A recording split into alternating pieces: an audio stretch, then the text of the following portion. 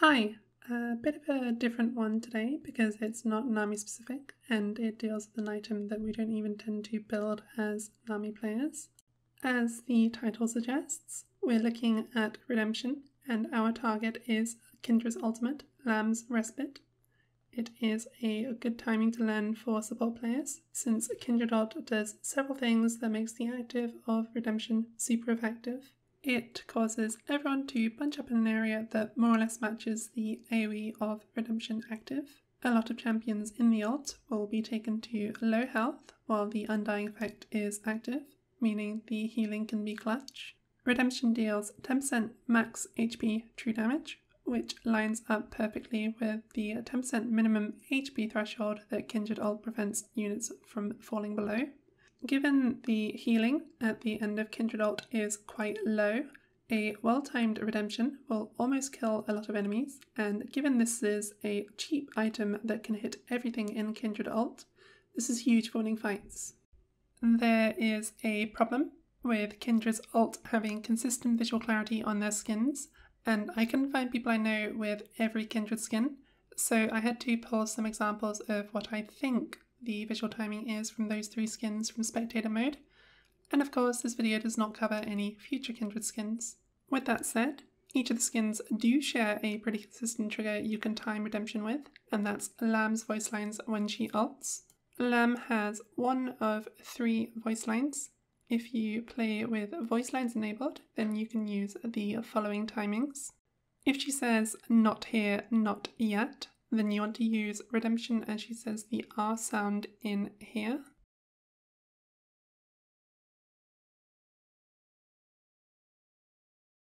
If she says shine once more before the end, then use redemption as she says more.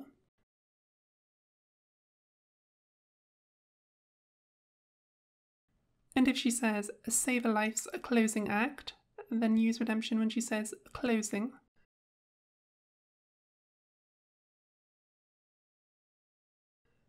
As with any timing, if you want perfection, then you have to adjust slightly for ping and reaction time. But generally, if you're up to a half a second late, then you're going to be okay. And that said, going off of voice lines isn't always practical. You might be playing in another language, or just have the audio balance turned down. So let's go through the visuals of each skin. Default is pretty simple. There are symbols around the edge of the ult, and once these start to glow is when you want to use redemption.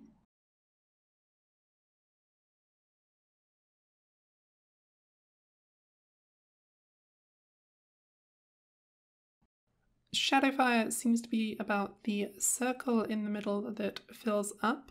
From what I can judge, it looks to fill up over the 4 seconds so when it is half filled, that is the two second mark.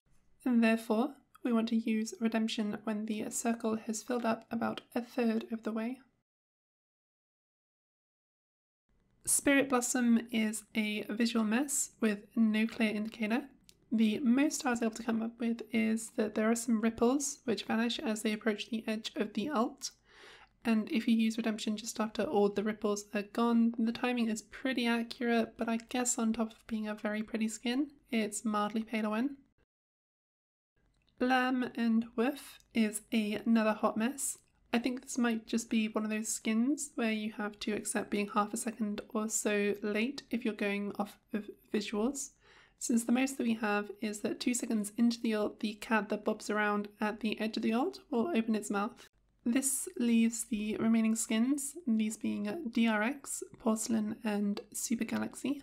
For these, I have no footage of redemption timing and had to spectate OTPs to get something. So the following is speculative and also subject to the possibility of spectator mode just straight up being buggy. DRX has the partial outline of squares which surround the DRX logo in the center. This outline will pulse with light that goes towards the center and once they have stopped pulsing is about when you want to use redemption. If you want to play it safer though, it looks like the X logo in the center will start to glow and do an animation at about the 1.75 second mark, so you can wait for that instead.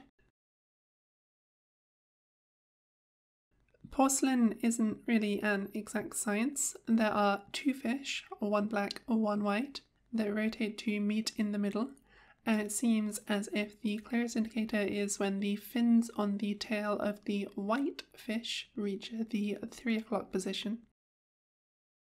And then finally, there is Super Galaxy Kindred. This is one where it's kind of consistent, but unfortunately, it can be pretty easily hidden in the chaos. In the center of Kindred Ult are two squares. The outer will glow then fade, and then the inner will glow then fade. Because the fading of the inner square is a fraction of a second before the 1.5 second mark, when you factor in latency and human reaction time, then you should nail it with this timing.